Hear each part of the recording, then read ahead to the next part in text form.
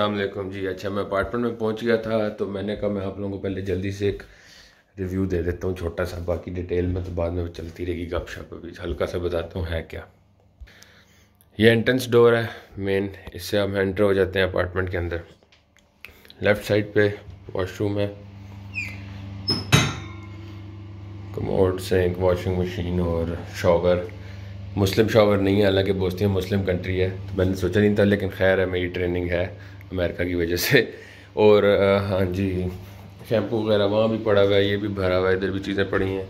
नीचे क्लीनिंग सामान सारा पड़ा हुआ है, अगर यूज़ करना हो तो कर सकते हैं। यहाँ पे कबर्ड है, पूरी साइड पे। आगे आए तो ये सोफ़ा है, ये यहाँ पड़ा था, मैंने खुद वहाँ रख दिया। और इस साइड पे मुड़ते ही ये डाइनिंग टेबल है, छोटा सा। और इधर किचन है, चूल्हा अवन सिंक। कुछ इधर सामान शुमान होगा, बर्तन वगैरह पड़े हुए हैं, कुछ मसाले वगैरह भी उन्होंने दिए हुए हैं जो हल्के फुल्के होते हैं। बेसिक वाले नमक शमक ये वो। ठीक हो गया जी।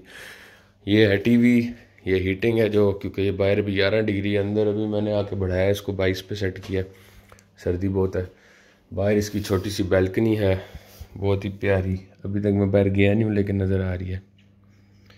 और थर्टीन फ्लोर पे अपार्टमेंट है, ये इस बिल्डिंग का हाईएस्ट फ्लोर है। तो व्यू भी बल्कि मैं आपको व्यू दिखाई देता हूँ। सही सर्दी है भाई।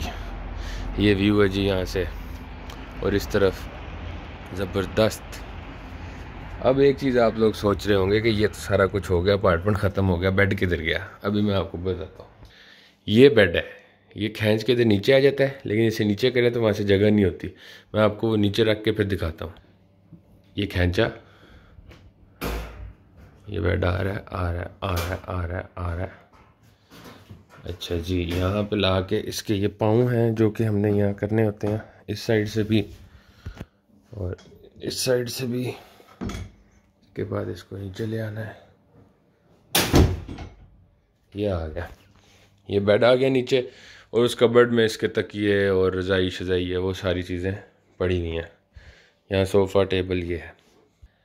तो ये अपार्टमेंट है, बड़े मज़े का है। इस बेड की वजह से ख़ासकर, ये नई चीज़ है।